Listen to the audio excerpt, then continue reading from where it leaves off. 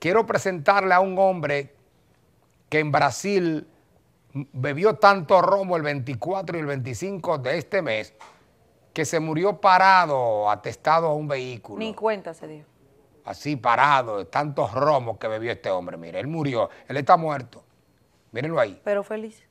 Sí. Ese hombre bebió romo. Miren, miren, tú, la policía vino, lo recogió y lo echó en un ataúd de una vez. Señores, es con rigor mortis que lo quitan a ese caballero. La gente ni cuenta aparentemente se estaba dando de que ese hombre estaba muerto parado del vehículo.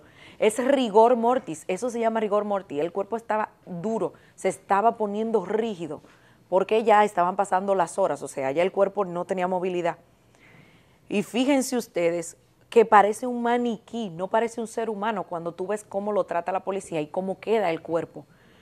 Pero miren, a tener medidas, señores. De verdad, desde que usted sienta que el cerebro le lo deje de echarle romo al cuerpo. ¿Sabe qué le pasó a ese hombre? Se le bajó el azúcar. Y el corazón, ¡pup! Sí, el azúcar, porque el alcohol quema el azúcar Mira, y lo deja usted en shot. Miren, y, las, y ni cuenta se da usted. las personas que pasaban por el sector sintieron que el hombre permanecía parado por mucho tiempo y decidieron llamar al hombre y al tocarlo se dieron cuenta que estaba duro y frío. Ay, señores, mídanse. Ustedes no se imaginan. Sí, señores. mucha gente que nos está viendo que le, mídanse. que le gusta el romo en El biberón. corazón también no soporta mucho. Sí. Si usted tiene su problema. No, ni que no cuchi tenga, cuchi. Rubí, ni que no No, y que usted no sepa que lo tiene, porque hay gente que no sabe que lo tiene y te dice, yo no tengo problema del corazón, pero es porque no se ha ido a chequear nunca. Usted, además, además, Rubí, amigos, amigas, miren, miren, yo le voy a decir algo.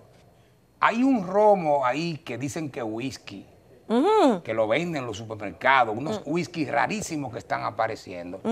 Señores, que no tienen los elementos eh, específicos y naturales para poder usted decir que es un alcohol con esos elementos eh, que se asocian al equilibrio.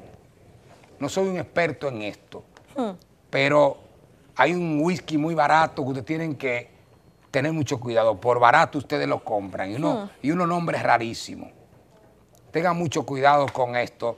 De igual manera, hay mucho ron por ahí sin calidad que ustedes saben lo que está ocurriendo. ¿eh? Además de que le baja el azúcar, ¿eh? el ron bueno, el bueno, el bueno. Usted bebiendo mucho romo del bueno, bueno, le baja el azúcar. Y bajándole el azúcar, usted todos los niveles se le bajan y le puede un shock, como le pasó a este caballero. Pero hay otro que desde que usted se toma un trago lo mata, ustedes saben, ¿verdad? Claro no que sí. tenemos, no tenemos que decirlo aquí.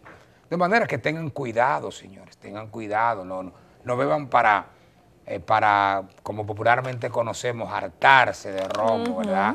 Eh, y, y hay gente que tiene deseo de darse un humo, y me voy a dar un humo hoy porque tengo deseo de eso. Tenga cuidado con eso, no hay necesidad. Y mezclar ron también. Mezclar eso Hay es gente que hace unos cócteles, mira, que terminan que ni los medicamentos los salvan.